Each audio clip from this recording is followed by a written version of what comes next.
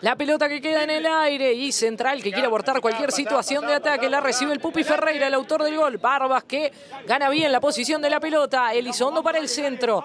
La cambian toda entonces para Viveros. Le queda Barbas. El pase para Viveros. Lo tiene Luján.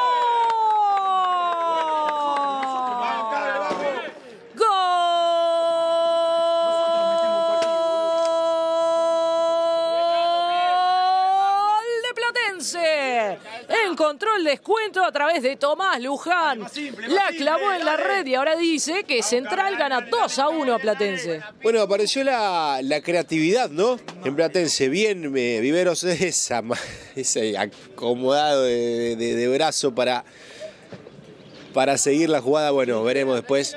Ya está, es viejo, es totalmente viejo. Lo que hay que destacar sí es